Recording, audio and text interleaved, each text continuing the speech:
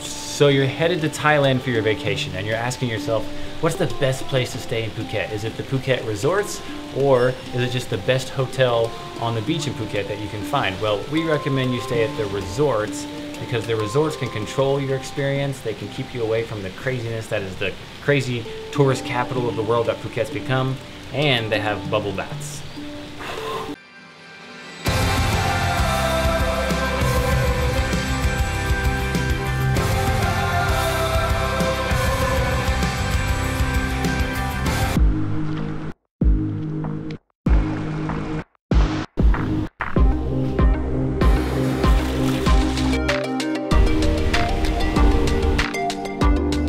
This resort's called the Slate. It's a luxury resort formerly known as the Indigo Pearl. Maggie and I actually came here nine years ago for our honeymoon and we're back again. And the reason we're back is because this is the most creative, artistic resort most unique resort we've ever stayed at in our entire lives. Phuket, before the tourism industry was known for the mining industry, tin mining especially, so they've taken all those elements of industry, being copper, steel, rebar, gears, chains, and they've meshed it with uh, lush jungle tropical rainforest so every part of the resort is curated to give you this kind of steampunk, chic feel, and it's just the most unique thing we've ever experienced. Three swimming pools. The main one's right here behind me. It's very large, it's got nice water features, and it's surrounded by this rainforest jungle vegetation stuff. Uh, if it's too loud and noisy for you because all the little munchkins rolling around, they've got two other pools that are for adults only. One of them has a nice swim up bar, and then the last one is an infinity pool and it's very peaceful and quiet.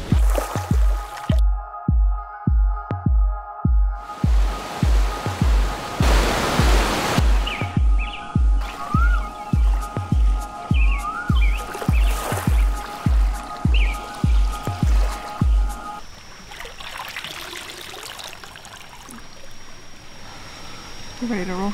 Yeah.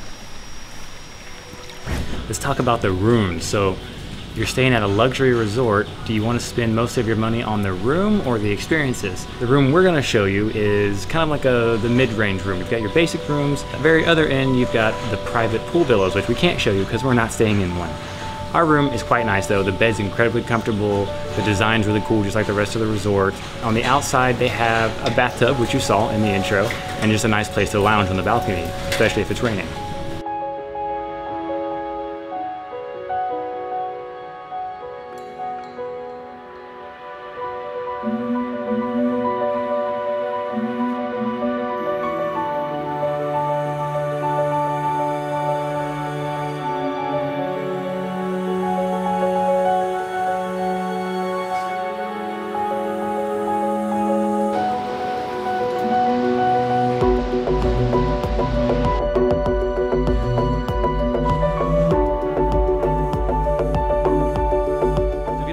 Lounge about at the resort by the pool. There's lots of activities you can do or your family. They have archery lessons, they have mountain biking, they've got stand-up paddleboarding, they've got kayaking, uh, kiteboarding. Did I say that? Kiteboarding. In addition to that, there's lots of fitness classes. There's yoga, there's Pilates, there's uh, Muay Thai, which we tried and that was very interesting. There's just tons to do. You're probably not going to get bored.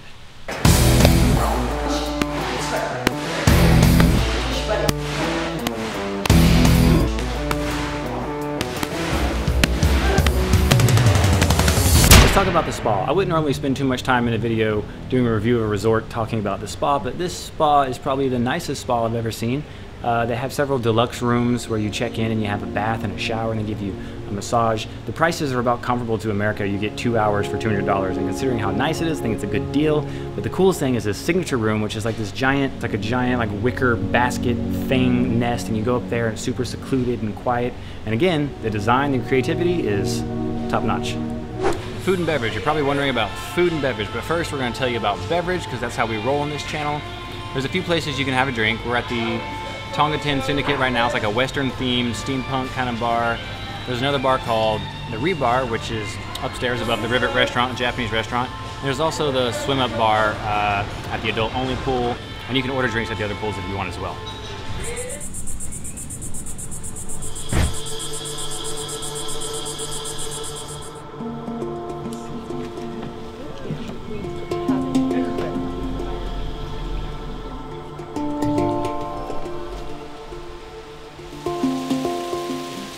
Secondary to beverages is your food options. So there's quite a few restaurants you can eat at. You're going to spend between 12 and 18 dollars per meal.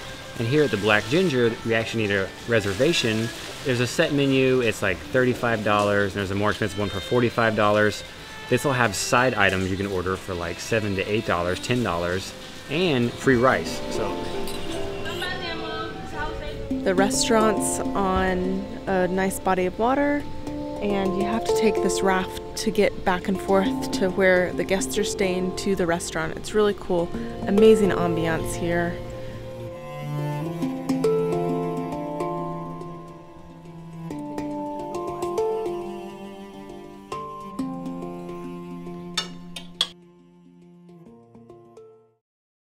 it's raining. It's the rainy season, so it's raining. What is that? Totally looks like a fish. What is it doing? There's Why is the fish? It's a fish out of water.